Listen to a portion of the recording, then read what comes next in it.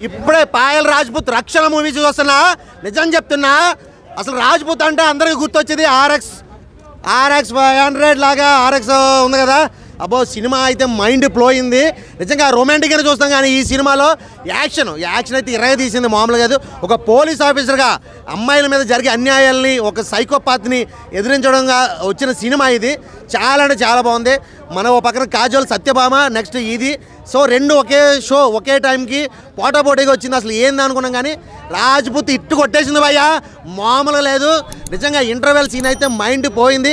And last climax అయితే మాత్రం ఒక ఓల్డ్ బిల్డింగ్లో హ్యాంగ్ చేస్తే అక్కడి నుంచి తప్పించుకుని రౌడీని కొట్టే విధానం చాలా అంటే చాలా బాగుంది. డైరెక్టర్ గారు స్టోరీ అయితే మాత్రం ఇరగ తీసింది. ఇప్పటి వరకు ఎలాంటి స్టోరీ రాలేదు. అమ్మాయిలు ఎదుగుతుండే వాళ్ళని చూసి కొంతమంది మనసులో అనుకుంటారు కానీ అలాంటి వాళ్ళు తెగించి బైక్ వచ్చి ఒక సైకోలో తయారైతే ఏంది సిచ్యువేషన్ అనే దాన్ని చాలా క్లియర్గా చూపించారు. చాలా అంటే చాలా బాగుంది. నేను చెప్తున్నా ఈ ఫ్రైడే రాజ్పూత్ పాయల్ రాజ్పూత్ ఇట్టు కొట్టింది అంతే సూపర్ సూపర్ సూపర్. సినిమా విషయానికి వస్తే ఈ రోజున రక్షణ అనే మూవీ చూశాను. అందులో పాయల్ రాజ్ నిజంగా మన ఆర్ఎక్స్ హండ్రెడ్ కానీ మంగళవారం కానీ తనకంటూ ఒక గుర్తింపు తెచ్చిన మూవీస్.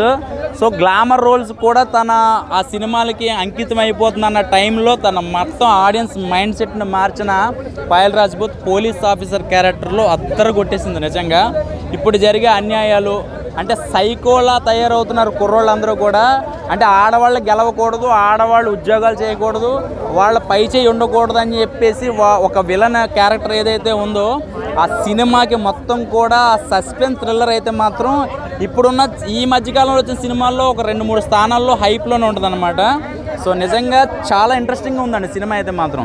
చాలా అంటే కెమెరా వర్క్ అని సాంగ్స్ ఉండవు ఫైట్స్ ఉండవు ఏమి ఉండవు. స్టోరీని అలా లాక్కుంటూనే వెళ్తాడు. సో చాలా ఇంట్రెస్టింగ్ ఉంది నిజంగా చెప్పాలంటే సినిమా. ఇంకా పాయల్ రాజ్ అండ్ డైరెక్టర్ గారు అంత తన మంగళవారం సినిమాలో ఎంత గొప్పగా అయితే తనని ప్రజెంటేషన్ చేశారో ఈ సినిమాలో ఫస్ట్ నుంచి లాస్ట్ దాకా కూడా తన యాక్టింగ్ అయితే మాత్రం చాలా బాగా చేసింది. అలాగే మన serial artist Manas first of తన విలన్ క్యారెక్టర్ తన యాక్టింగ్ అయితే మాత్రం చాలా బాగా చేశాడు. సో నేను ఒకటే ఒకే ఒక ముక్కలో చెప్పేది ఏంటంటే కనుక మనకి సస్పెన్స్ థ్రిల్లర్ మూవీస్ చాలా బాగా చూస్తాము. సో ఈ సినిమా అయితే మాత్రం నాకైతే బాగా నచ్చింది.